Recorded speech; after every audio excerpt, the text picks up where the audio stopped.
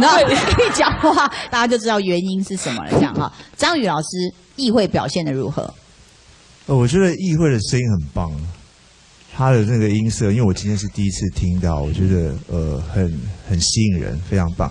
然后，但是呃，你这样子的音色哈，其实在唱歌的时候要特别的小心，因为当音色越特殊的人，其实越容易被听腻，所以你不可以加太多的。有的没有的枝节的东西在里面。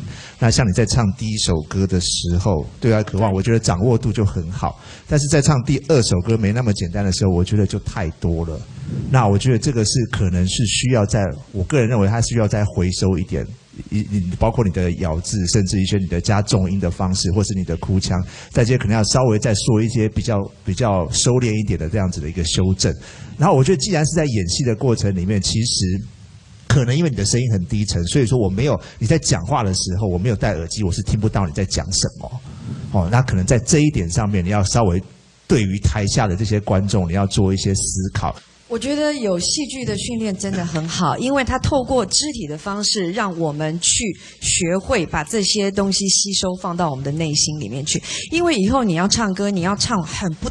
很多不同种类型的，那我没有办法去经历每一个故事、每一个角色，可是要运用就是你的想象力。那我觉得你你可以回去再看这个回放的时候，你你可以去自己去找一些问题出来，因为我觉得你唱歌的时候其实问题不大，可是呢，就是呃，当我们在戏剧当中要唱歌，我们很难去拿捏那个角色。有时候我们在这个戏剧在演戏的时候，我们是那个剧中人，可是唱歌的时候就会变成我们自己。所以刚刚我在尤其听到第二首歌，其实我我会有点突兀，因为本来你们两个讲的好好的，可是你开始唱的时候，我突然发现你是一个阿姨或者是长辈，你突然在告诉他说有很多道理你要晓得，爱没那么简单的。哦，对，突然你的角色突然拉开了，哇，了解了哈，对，可能还那个前男友找的还是太年轻了吧。找一个有胡子的会不会？没有啦，其实真的不是。老师说的不是年龄的关系。对呀，你知道你本身是年轻的。连跟他对戏的大爷都说：“天哪，真的是一会吗？因为没呃妆前妆后差太多，妆前像老妈，妆后像朵花啊，所以他吓了一跳。马上就来看一看议会的分数，我们看评审的给分。哎。议会今天的演出得到的分数是分数是八十一分哦，不低的分数啦。好，恭喜直接回到原来的这个这个这个这个座位区哎，不用去留级区哎。恭喜你议会，谢谢谢谢乐队老师。很少穿这么性感。基本上就没有过了，所以其实我在台上看就一直想笑，因为一会动作都不敢放开。没有，就你知道那种就中年女性的那种压抑，收住那种感情，她不是说像年轻女孩子那种奔放啊，我爱你。对，其实我有刻意了。而且明明是个姐弟恋，我们又让议会脸红一次，来有请男主角泰迪。对啊，姐弟恋，你看，你看，来，你看他眼睛，你看他眼睛，我不能看他眼睛，你看眼睛，看他眼睛，我不能看他眼睛，看看一下，看一下，对，对看十秒，来来来来来来，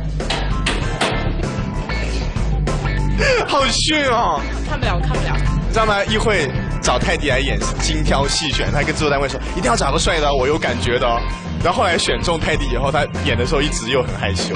对啊，其实这样不好吗？对啊，找找林鸿明来演。好，接下来林鸿明请出列。来，金城武。啊，听说打给你的剧本写到你的时候都要写金城武说，是不是？那是我自己打的啊。对啊，因为因为增加自信。演演戏很不错的一个演员哦，所以你要跟他看戏，希望可以上升，就是长相也变成他，然后身高也有他的，哦然后帅气跟气质也有他的，直接把大家打昏就好啦，好不好？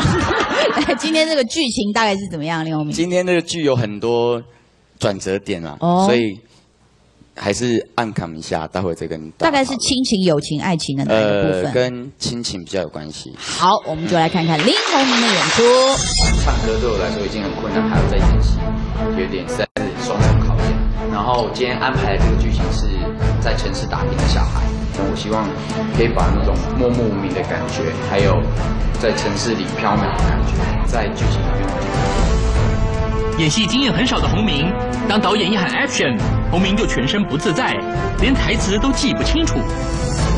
妈，我在公司啊，我要去拜访。呃，妈，我要去拜访一个大客户啊。光是一句台词，洪明就 NG 了好几遍，而无法揣摩剧中角色精髓的问题，则让导演大为头疼。你毕竟在那个写实的喜剧里面，没像你现在都很正常啊。我只要开始，我就那不是演，那是那是那是生活。老师说过，我演的太表面，太演，一点都不自然。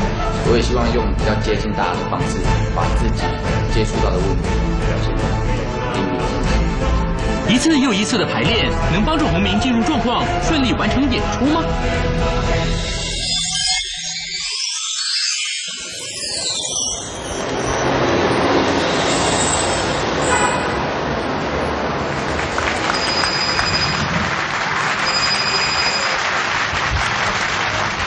喂，妈，我跟你说哦，去拜访一个大客户哦。嗯，你不知道我多忙哦，多少人给我管。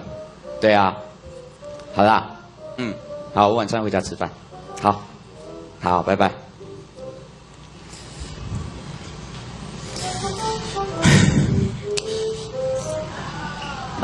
啊，先生，不好意思，可以麻烦你帮我填个问卷。呃，先生，不好意思，可以麻烦你帮。小姐，不好意思，可不可以麻烦你帮我填个卷，一下就好了。小姐，不好意思，可不可以